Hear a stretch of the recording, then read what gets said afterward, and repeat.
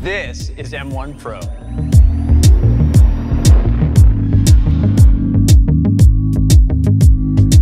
Holy wow. I'm Rene Ritchie. Thanks Made-In for sponsoring. Hit subscribe so you don't miss a review because right now I'm reacting live. M1 Pro. They are going with the M1 Pro branding. So not M1X like they used to do A12X. They're going M1 Pro. And it's a game changer.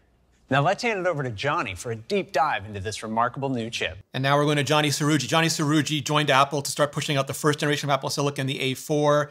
Uh, he's been leading Apple Silicon Division. He's now Senior Vice President of Hardware Technologies, which is basically all the internal stuff, the silicon, the modems, everything that goes inside the devices. And he's been spearheading Apple Silicon this whole time. Now, building a Pro laptop has meant using a power-hungry CPU and discrete GPU. But a two-chip architecture requires much more power and cooling. It also means the CPU and GPU have separate pools of memory, so they have to copy data back and forth over a slower interface. So he's talking now about how traditional computers work. I've described them as a charcuterie board, as a buffet where every part is laid out separately. You know, and you have to communicate in between them. You got to waste time reaching for the different parts, where an SoC is more like a sandwich. And we did this by scaling up M1's groundbreaking architecture to create a far more powerful chip with M1 Pro. And now, wow, this is way bigger uh, than M1. This is just a wide body while doubling the width of the memory interface and using faster DRAM. 200 gigabytes of memory bandwidth. Three times as much as M1, that's amazing. And its custom package supports up to 32 gigabytes of unified memory. 5 nanometer process, probably 5 nanometer P at this point, maybe? Starting with a 10 core CPU, with 8 high performance cores and 2 high efficiency cores.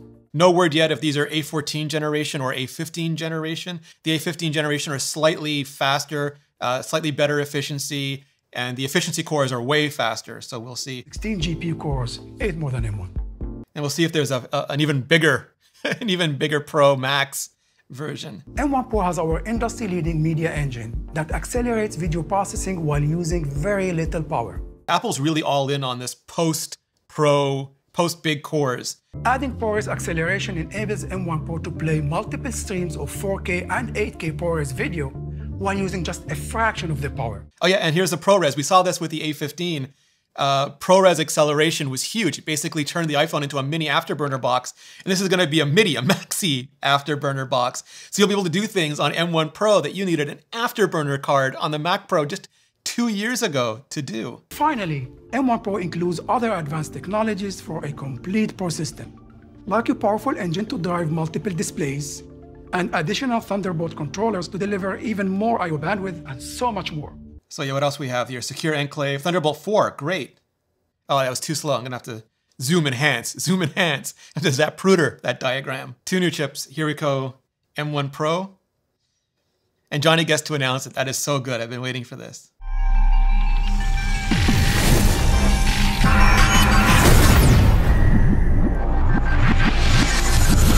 M1 Max. There we go. This incredible chip builds on M1 Pro and takes its amazing capabilities to new heights. And I like that they stuck with M1 because it does define the generation. These aren't next generation chips. Like we'll presumably, presumably get an M2 with the next MacBook Air, but this is the same generation, just more. It's extended. It's what would be an X chip. M1 Max starts with a much higher bandwidth on chip fabric and doubles the memory interface once again. 400 gigabits per second, twice M1 Pro, six times M1. To 64 gigabytes of unified memory. And its die has a staggering 57 billion transistors. That's 1.7 times M1 Pro and 3.5 times M1. So basically M1 Pro makes, it's like two M1s, this is like four M1s in terms of surface area, not quite, maybe three. M1 Max has the same powerful 10-core CPU complex of M1 Pro and doubles the GPU to a massive 32 cores. So it really is just part of Apple's scalable architecture strategy. And it has an even more capable media engine with up to two times faster video encoding and two ProRes accelerators. Two ProRes encode decode engines? Ah, give it to me now. I want it now. And here's the performance per watt, the efficiency. And when you add an M1 Pro and M1 Max, they deliver dramatically more performance. Oh, Apple just redefined the curve. And now some people are going to get upset that these are Bezos graphs without anything but four-core laptop, uh, it's too small for me to read, but it's going to be whatever Tiger Lake or I forget what we're on now. For I stopped paying as much attention to Intel. Their peak, they deliver 1.7 times the performance of the PC chip in the same power envelope. So we had around 15 watts for the M1. This is around 30 watts. And at the peak performance of the PC chip, they deliver the same performance at 70% less power. Yeah, this is where I watched x86 die Parappa. So when we add an M1 Pro, it's in a whole different class. At its peak, it's more than seven times faster. There we go. And M1 Max. I want the graph for M1X. Hit me. Hit me with that graph for M1 Max. M1 Pro delivers more performance while using 70% less power. So usually, yeah, you'll have an NVIDIA or an AMD discrete. Even Apple's previous generation MacBook Pros had discrete, but they, they use a ton of power. It delivers comparable performance while using 40% less power. And that gives you a trade-off. Either you've got to feed it a ton of power or throttle it down. And some of them, when you pull out the plug, they throttle all the way down. Uh, so it's, it's never been a really good balance. M1 Max delivers similar performance while using 100 watts less power. Like we're gonna have to wait and see. We're gonna have to review them. We're gonna have to test them out. We're gonna have to try them with a diverse array, array of pro workloads to see how not just how well these GPUs actually perform, but how compatible they are. You know, a lot of people still want their CUDA cores. A lot of people now are used to AMD GPUs. Apple wants everyone to write to metal. There's huge advantages to writing to metal. If you look at the Compact Pro laptop on battery, its graphics performance drops significantly. M1 Max is up to two and a half times faster. And if you look at the high-end laptop when it's on battery, the drop-off in graphics performance is even more extreme. M1 Max is over three times faster. The big battle between Apple and Nvidia has been that, you know, Nvidia wanted all the boxes to be commodity PCs and they wanted to be the important part, where Apple wanted, uh, you know, all the graphics to be commodity parts and the important part to be the Mac, the, the metal, and they've been just bouncing, locking heads over this for a while now. And this is Apple's big play to sort of have their worldview Im- imposed at least upon Mac users. We'll see how it goes. It's by far the most capable chip we've ever built. Craig Federighi, of course, is Apple's Senior Vice President of Software Engineering, the traditional superhero of Worldwide Developers Conference, WWDC, every year. And my personal favorite, Instant Wake from Sleep.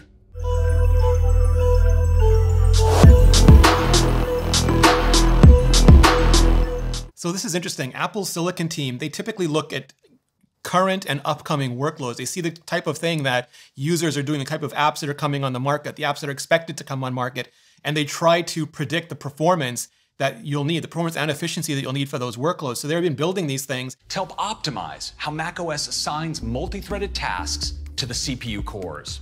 Advanced power management features intelligently allocate tasks between the performance and efficiency cores. It takes about three years to, to fully build out uh, one of these chipsets. So they've been looking at where they want it to be for these last few years. And macOS is designed to take advantage of the unified memory architecture in these new chips. So pro apps can manipulate huge images or video streams. And here's we're talking about unified memory, which is interesting because traditionally you've had the RAM for the CPU and the VRAM uh, for the graphics chip. And you don't have that with unified memory. It's shared memory, uh, which does have some trade offs, of course, but it means that with these M1 Pro and M1 Max chips, that 30, those 16 or 32 core GPU is going to be fed by 16 or 32 gigabytes or 64 gigabytes of RAM.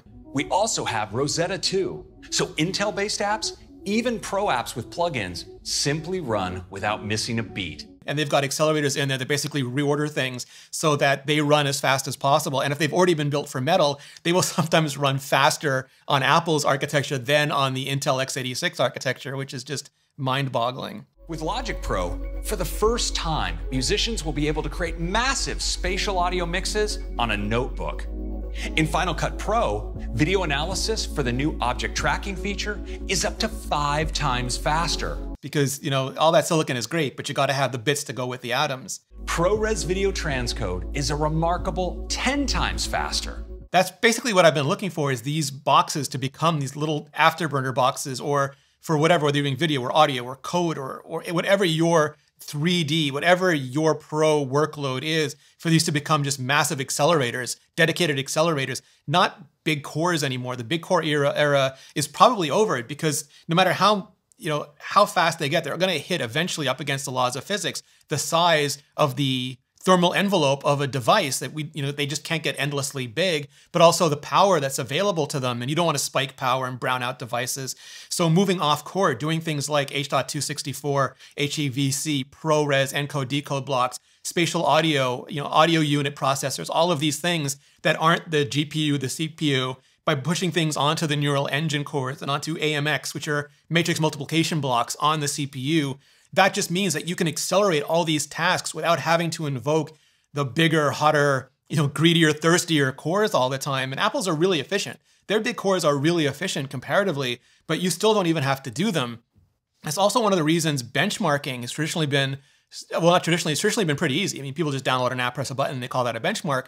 But they've become really tricky over the last few years because unless you're an expert, unless you're like in a NAND tech level 9000 IQ, you often don't know if you're hitting an accelerator block. Like, are you testing two different iPads? Are you testing two different iPads? Or are you testing the same accelerator block in an A12X and an A12Z? Because those things didn't change. Uh, is it hitting the GPU? Is it hitting the CPU? Is it hitting the neural engine core? All of these things are, if you look at any of AnandTech's reviews, these are non-trivial things and they're not well understood. So measuring them has been hit and miss at best and understanding how unified memory works. Uh, for example, some people just think that eight gigabytes of unified memory is as good as six gigabytes of traditional, 16 gigabytes traditional memory, and it's not. It's just highly optimized. Like because of because of unified memory, because of memory compression, because of super fast swap, you get everything that you can out of that memory, out of that eight gigabytes of memory. But it doesn't really help you, save you from memory pressure when you're running two or three pro apps at the same time. There you actually need the RAM. So Apple giving us you know 16 32 64 gigabyte options for that memory is going to be really important especially for pros who want to have all the layers all the objects everything in memory uh, it's it's going to make a huge difference M1 Pro and M1 Max represent a huge leap forward in silicon for pro systems. Gonna have to wait for the complete review to see how they really live up to expectations, but something I know is amazing right now is today's sponsor, Made In. Yeah, I cook. I love it.